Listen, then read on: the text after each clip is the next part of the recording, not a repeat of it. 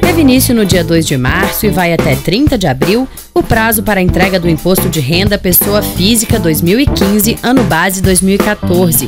De acordo com a Receita Federal, cerca de 27 milhões e meio de contribuintes devem prestar contas ao fisco neste ano.